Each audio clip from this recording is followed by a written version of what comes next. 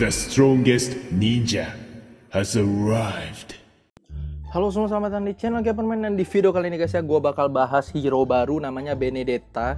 Dan hero ini merupakan hero assassin cewek ya setelah akhirnya ada assassin cewek lagi setelah Natali dan juga gue bakal bahas detail fungsi-fungsi dari skill yang dipunyai sama ini hero ya jadi dia ini assassin dan dia tipikalnya charge burst ya dan dia difficulty-nya lumayan tinggi guys ya. Jadi nggak mudah untuk mainin hero. Nah, jadi kita bakal bahas detail masuk aja guys ya langsung di in game-nya. Let's go. Oke guys, kita udah masuk di gamenya kali ini ya. Nah, jadi untuk set itemnya karena kita ini tiga orang guys, bayangin guys ya. Ini karena resikonya di advance server sih ya guys ya. Tiga hero tim kita ini Mia Retri, ada Esme Retri, ada Zilong Retri guys ya. Jadi sebenarnya ini hero ya, rekomendasi spellnya itu Retribution. Jatuhnya nih gue pakai execute karena nggak mungkin lagi nih retri nih. Ini banyak banget udah retri ini tim ya. nah jadinya gue kayaknya bakal bantu ambil buff sih ini MM-nya ya. Gak apa-apa lah, ini buff merah kita kasih aja ke MM ya guys ya, karena dia pasti retri juga. Oke, pokoknya lah kita farming aja lah ya guys ya, farming dari minion wave atau ngejungle aja. Walaupun sih gue pinginnya di satu video itu kayak ngebahas hero yang baru kayak gini tuh yang kalau bisa sih memang yang uh, kita praktekin juga di original server ya. Cuman ini udah nggak mungkin banget ya guys ya. Jadi ya kalau bisa mungkin uh, gue bakal coba bahas persatu aja skill-skillnya. Nah jadi untuk skillnya itu dia ada tiga skill. Skill satunya itu kayak gini. Nah skill dua bisa kabur. Jadi dua skill dari si Benedetta ini ya skill 2 skill 3 nya itu bisa ngeblink guys ya bisa untuk kabur bisa juga bikin si hero ini imun ya guys ya. Jadi bayangin nih hero assassin yang menurut gue tuh paling punya banyak skill escape. Oke nice banget nih Mianya ngekill. Um, kita balik aja guys ya biar aman ya. Nah ini kita pun tipis banget nih oke. Jadi ini hero guys ya secara langsung punya fitur imun di mana skill 2 nya ini bisa imun guys ya. Kalau kalian memang bisa casting sebelum kalian dicece sama musuh. Nah jadi proses berlangsungnya ini skill.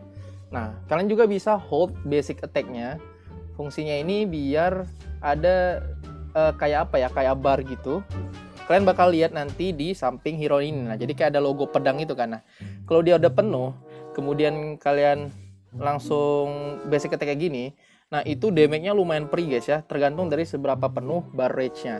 Dan itu pasifnya dari si Benedetta.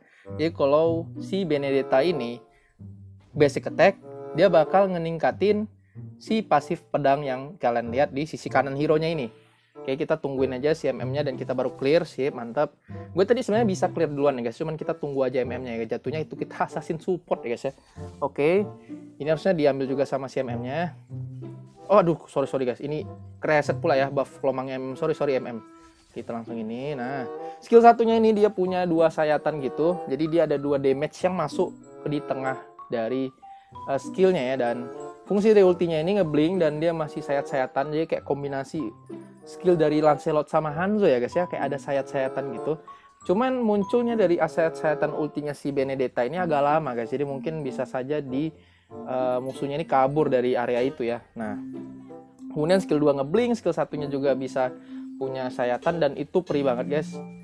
Dan skill satunya ini areanya ke depan doang, jadi kayak fan fan areanya itu dia uh, satu arah gitu aja, jadi nggak bisa ke belakangnya. Jadi nggak AOE ya guys ya, cuman satu arah aja. Dari ultinya juga bisa begini dan itu ngesayat banget. Oke, nice banget kita dapat tadi si um, siapa tadi itu kita dapat oh baksianya ya nice banget dan double kill ya guys ya cakep banget kita skill satu oke okay. Gak apa-apa guys ya kita udah dua kill nih jadi kurang lebih begini ya guys ya dan inilah kenapa ini hero ini patut pakai retribution ya ini hero tuh posisinya harus di mid jadi harus di mid dan dia itu lumayan boros untuk masalah mana regen ya seperti yang kayak biasa-biasa assassin pada umumnya lah ya assassin yang butuh mana itu pasti kalau nggak pakai buff tuh boros jadi yang kalau gue lihat ya guys ya kalau memang kalian mau pilih hero sebagai assassin dan dia mau jadiin mid laner ya, kalian harus pakein buff ya guys ya. Kalau memang nih hero tidak pakai buff itu susah ya guys ya. Jatuhnya tuh assassin offlaner itu rada susah. Dia ini harus berarti bikin sepatu mana regen guys. Ya resikonya kalau kita bikin sepatu mana regen, kita tidak bisa pakai sepatu yang memang untuk dia nih. Contoh, misalnya nih hero cocok untuk sepatu cooldown ya, atau sepatu tech speed Nah, kalau kalian pakai sepatu mana regen, otomatis kalian nggak bisa pakai itu ya. Nah, itu yang kurangnya kalau memang kalian pakai sepatu mana regen. Kemudian juga skill satunya seperti ini dan mungkin yang kalian masih belum paham karena memang ini hero lumayan complicated guys ya lumayan tricky banget untuk dipakai karena kalau kalian salah masuk sekali kalian bisa jadi diincar sama musuh. Tapi kalau kalian pinter maininnya ini hero susah ditangkap guys. Jadi dia punya skill, skill escape yang sangat sangat sangat banyak guys ya. Bahkan dari basic attack di hold aja jadi kalau kalian hold basic attacknya lama-lama. Jadi ini bisa ditekan ya guys ya. Ini kan ada nih yang di skill 2 sebelah kanan itu kan basic attack ya. Nah jadi kan kalau kalian tekan ya lama-lama itu bikin dia nge-charge jadi kayak ngumpulin energi buat pedang yang di samping hero yang tadi lama-lama penuh baru kalian bisa cast lepas gitu jadi kalian hold kalian lepas dan itu bakal bikin dia ngedes juga guys jadi bayangin ya dia totalnya ini semacam punya tiga skill dash. Jadi dia bisa kabur, bisa ngeblink, dan dia susah banget ditangkap. Makanya kenapa kayak gue bilang kalau misalnya orang yang udah pinter mainin ini hero, ini hero kayak susah banget ditangkap guys ya. Oke, ini kita coba bantuin aja. Oke, nice banget. Ini tim tim tuh main ya guys. Tim yang di advance server ini agak bagus ya. Gue bisa kalau nge-review hero tuh butuh beberapa match dulu untuk bisa dapat yang bagusnya ya. Ini wah ini bagus sih. Oke, kita langsung aja Stross hot tak hoop gila nggak kena guys ya kita maju lagi execute tuh oke karena kita nggak pakai retribution ya bayangin guys ya kalau kita pakai retribution mungkin lebih enak lagi guys ya kita pun item lama jadi karena kita nggak ada buff ya mana regen juga boros ini yang kenapa gue pakai execute ya. Jadi bukan maksudnya oh ini berarti ini hero pakai execute ya bang. Bukan. Ini hero gue rekomendasiin pastinya retribution. Nah cuman ya kebetulan di match ini itu gue nggak pakai retribution karena tim kita nih tiga udah retrinya guys ya. Nanti berebutan buff gue capek guys ya. Mending kita pakai executo ya. Biar nah enak banget untuk ngamanin kill ya kalau misalnya darah-darah musuh tuh kayak tipis banget ya.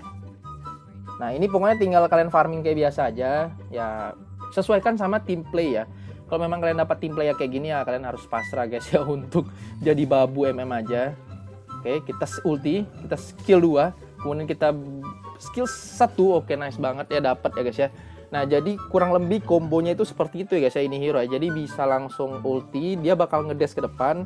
Kemudian kalian bisa skill 2 untuk balik kalau kalian memang um, sudah diincar sama musuh atau kalian bisa skill ulti dulu kemudian kalian skill 1, kemudian kalian skill 2 untuk kabur ya.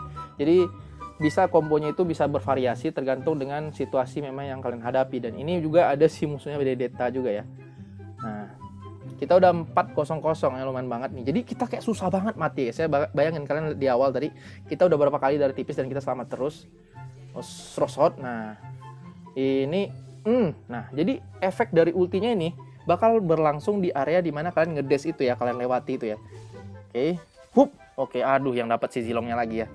Jadinya efek dari ultinya ini bakal tetap berlangsung di satu area itu dan itu nge-trigger efek dari DHS makanya kenapa gue pakai uh, item yang namanya Demon Hunter Sword ya semoga dengan yang gue kasih lihat ini semoga kalian bisa coba apa ya namanya ya variasiin gameplay kalian karena yang kayak gue bilang selalu ya guys assassin itu bukan hero yang menurut gue tuh role-nya ya maksudnya bukan hero-nya. Role assassin itu bukan role yang sangat monoton ya. Dia itu harus variasi harus pinter-pinter usernya. Karena kalau nggak pinter usernya nanti yang ada malah di satu sisi ngebikin si hero nya itu ngefit ya. Oke oh dapat tuh. Nah jadi efek sayatannya tuh dapat tuh ya. Cuman kita kayak susah banget dibunuh sama si Mia nya ini kita kabur dulu guys ini kita tadi berpaksa lawan banget war ya dan ini musuhnya nggak mau kalah ya guys. Ya gila ini sama godnya loh. 403 kita baru ya guys ya. Kill 4 assist 3 tapi kita kayak gue bilang tadi sebelumnya susah banget nih hero mati guys ya. Jadi asal udah tahu combo aja dan paham kalau memang basic attack-nya itu bisa ditahan, nah itu bisa bikin si hero ini kaburnya banyak banget gitu loh tuh, loh. Nah, bisa nge-clear juga dengan mudah untuk minin wave kayak tadi karena memang ini hero tuh cooldown dari ultinya itu awal game aja ya guys. Ya level 4 aja tuh 20 detik cuman guys. Bayangin kalau makin ke late game makin level kalian makin tinggi makin kalian cepat upgrade itu skillnya kayaknya gue lihat sih mungkin cuma 15 detik ya. Cepet ultinya kayak ulti Lancelot ya dan ini. Reset dong ini jangan store tolong. Oke. Okay. musuhnya ini masih oh gila ada badang. Kita coba ulti kemudian kita skill 2 kita srosot kita langsung aja execute. Oke okay, double kill guys ya.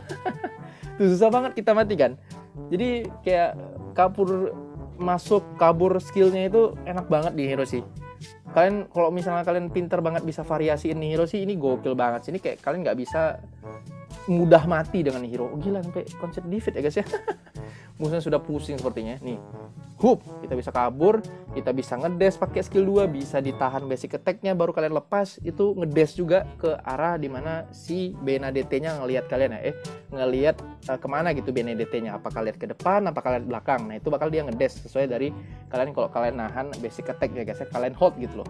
Nah, ini jadi hero ini nggak cuma bisa di ditekan-tekan biasa tapi bisa juga ditahan ya guys ya untuk basic attack-nya biar keluar pasifnya nah untuk item yang gue rekomendasiin bisa paling atas sama yang tengah. Jadi sesuaikan kalau kalian dapat jungle banyak dapat buff kalian pakai yang atas. Kalau nggak ada ya kalian pakai yang tengah ya. Jadi segitu aja untuk video kali ini ya guys ya. Jangan lupa ya guys ya di like di komen di subscribe. Ditunggu untuk video selanjutnya dan bye bye semuanya